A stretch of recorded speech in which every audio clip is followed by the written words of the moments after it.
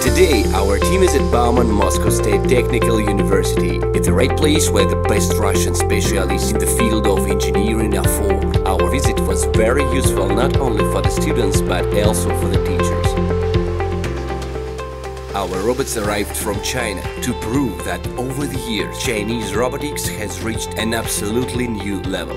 We possess advanced developments in the field of robotics in Russia. Also, our robots are a social lift to the field of robotics for the students who aim to link their future career to this area.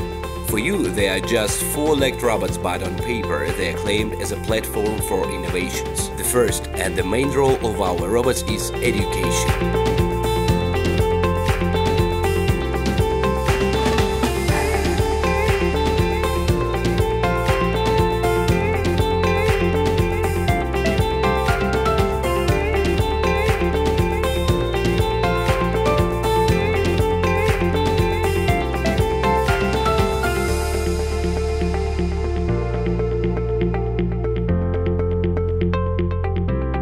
MSTU is the first Russian university that has become a member of Top Industrial Managers for Europe Association. As a result of the meeting, Uni 3 has become a part of scientific researches for the students of MSTU.